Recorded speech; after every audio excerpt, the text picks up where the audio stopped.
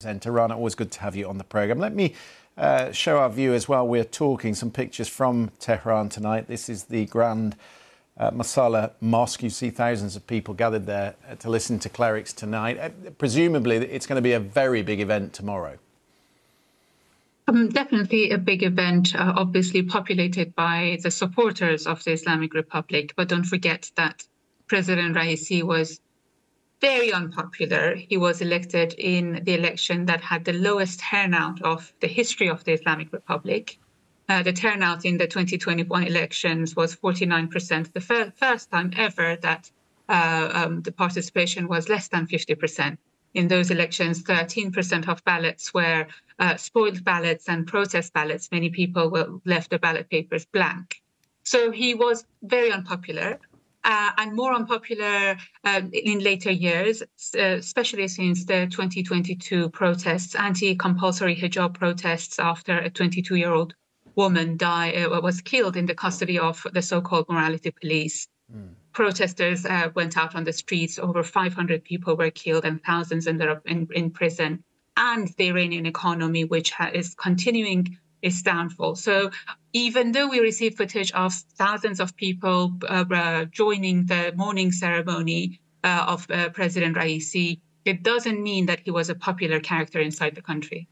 A lot of analysts have said they don't expect anything to change in terms of foreign policy or direction of the country, and already uh, some names, conservative hardliners, are being lined up to replace him. But, but how influential was he um, within the government and, and also on that on that committee that will that will choose um, the Ayatollah's successor?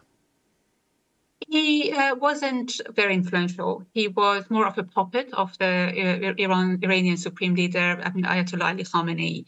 Um, the Iranian foreign policy is determined by by um, the supreme leader, and when it came to internal politics, he didn't have much clout. He didn't have any charisma. He wasn't very educated even if you could understand Persian, you could uh, see that he he was not articulate at all. Many of the things that he said uh, didn't make sense in in in, in uh, Persian. Um, so he didn't have much influence, and his death is not going to change much. Uh, he was a member of the 55 seat uh, Assembly of Experts that is in charge of choosing the, the Iranian supreme leader. And he was just one member of uh, the Assembly of Experts there are uh, there were uh, 54 other members.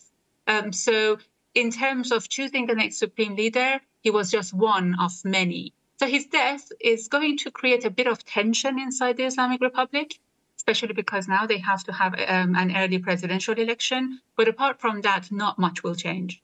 It's interesting that, that Secretary Lloyd Austin, the, the Defense Secretary in the United States, was was quick to say that they had no part to play in this crash. There was some fear in, in Washington and I think also in Jerusalem that Tehran might quickly allege that the, the transport had been sabotaged. Why do you think they were so quick to, to, to talk about the weather and, and not point the finger? Because they have done that in the past they have done in the past. And uh, it wasn't just the Islamic Republic. Many Iranian people were also suspecting that Israel could have been um, uh, taking part in, in, the, in an, an act of sabotage. Um, and there are various reasons because Iran has a history of responding to these kind of movements from either Israel and the United States.